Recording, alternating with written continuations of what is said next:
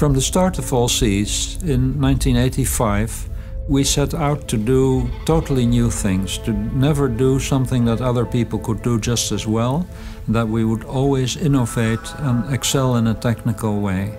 We are building something that has never been done before. We really wrote history that day.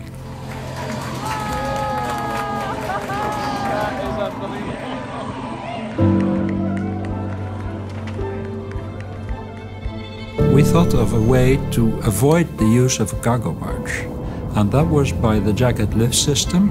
And then you can lift the jacket and transport it to shore in all sorts of weather conditions. It's a challenge, but it's also very fun to work on such a big system. It's been uh, years of work of designing and drawing and making plans and now we're actually creating this and I'm at the forefront of uh, installing and commissioning it and I'm really excited to see it work uh, in a brief time. The main advantage of the system would be that it's a single lift, so it's a much safer and faster way of installing and removing jackets.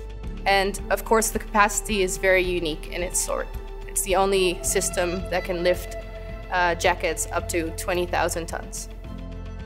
The status of the jacket lift system at the moment is about 80% complete. The next biggest phase will be installing the jacket lift system beams, which will be skidded onto the Pioneering Spirit aft.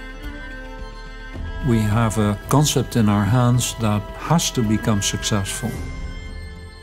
Pioneering Spirit is a game changer in offshore heavy lift, removing and installing entire platforms in one piece. Now it's time to finish what we started by adding a revolutionary jacket lift system. Follow our story on allseas.com.